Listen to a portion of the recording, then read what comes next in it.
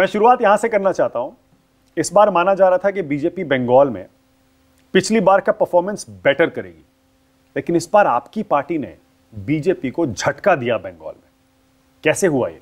जो exit poll भी नहीं समझ पाए। मेरा ये मानना है कि इस बार 2024 के चुनाव में जो तृणमूल कांग्रेस का परफॉर्मेंस रहा बंगाल में, उसके पीछे कई कारण हैं।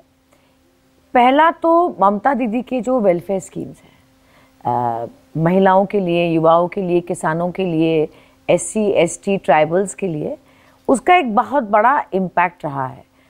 और दूसरी बात ये है कि मैं ये मानती हूँ कि इस देश में अगर मास लीडर्स को गिना जाए तो ममता दीदी का जो मास सपोर्ट है, वो बहुत मैंने देखा लोग समझ नहीं पाते what is the extent of that पर अगर उसको कोई करीबी से देखे हाँ मास कनेक्ट इज़ ह्यूज पर बंगाल में ये सर देखिए उनकी पॉपुलैरिटी बंगाल से बाहर भी है उस पर हम बाद में आएँगे।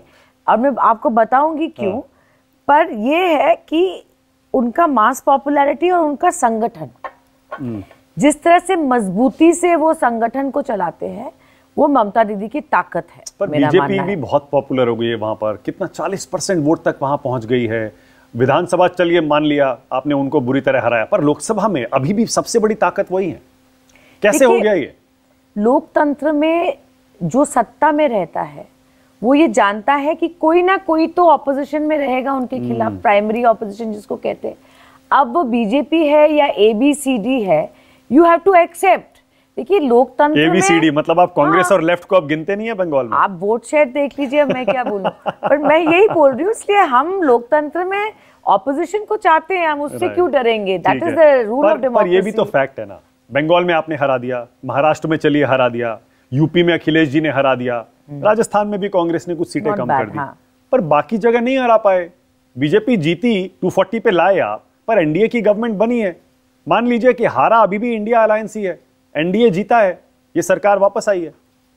देखिए एनडीए की सरकार वापस ज़रूर आई है पर उनका रूप इस वक्त अलग है। कट्टू साइज़ हो गया है। बिल्कुल कट्टू साइज़ हो गया है और सबसे बड़ी मुँह की जहाँ बीजेपी ने खाई है जो उन्होंने 400 पार का नारा लगाया था वो बिल्कुल बूमरैंग हो गया उनके ऊपर। लोगों ने सोचा कि संविधान बदल देंगे।